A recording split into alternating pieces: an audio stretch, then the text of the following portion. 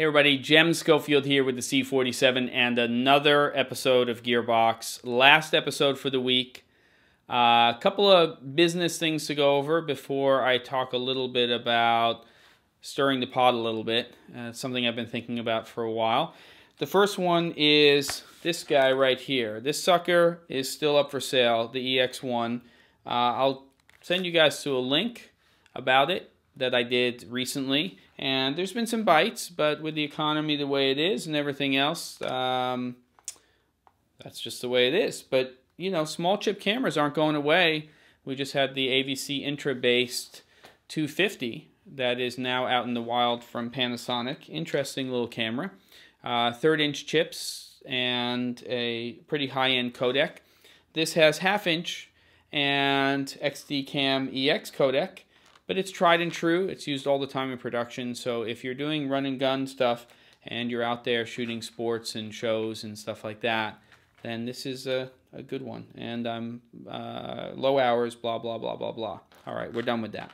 Second thing, Friday, September 30th. You may be watching this on the evening of the 29th, or you may be watching it on the 30th, but the 30th is the last day for the early bird pricing for Postapalooza 2011. So if you're interested, if you're on the fence, or if you are not one of those people that likes to spend more money on something that you don't have to, then link, check it out, Postapalooza 2011, power-ups, two days of post sessions, blah, blah, blah, blah, blah.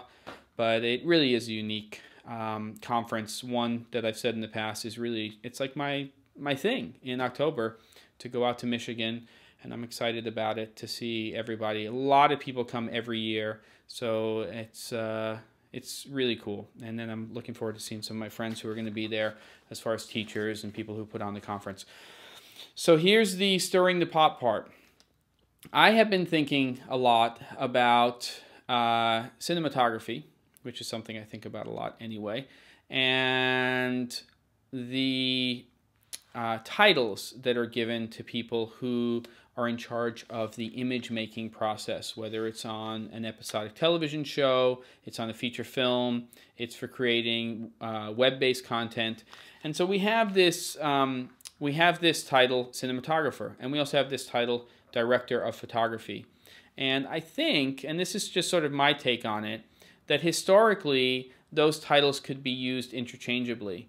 But now I'm kind of seeing a little bit of a potential separation. Now, what I mean by that is that if you take somebody like a Gordon Willis or uh, Cronenweth, uh, or you take a Danny Cohen or uh, Kaminski or uh, Deakins, or you know, there's tons of these guys who are just amazing, amazing cinematographers, and you want to define what they are, then cinematographer is an apt title. I think that for me, what that means is you're talking about a person who has an encyclopedia of knowledge when it comes to lighting. They also have an encyclopedia of knowledge when it comes to how historically films have been lit.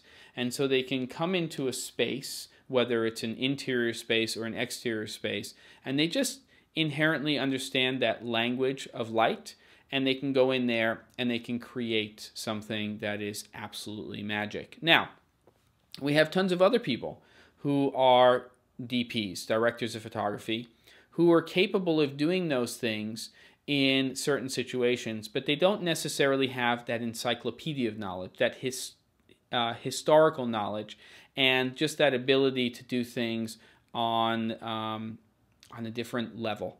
And so I think that now you might be able to call every great cinematographer a DP, but not necessarily every director of photography on a project a cinematographer.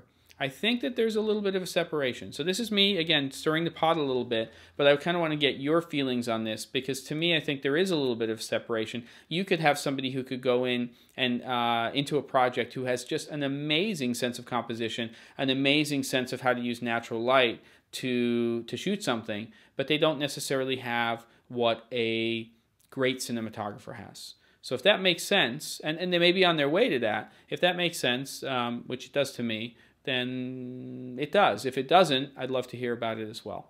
So there you go. We've got a cinematographer, we've got a director of photography. Sometimes they may be one and the same, sometimes they may be separate things. And I'll see you guys next week on Gearbox.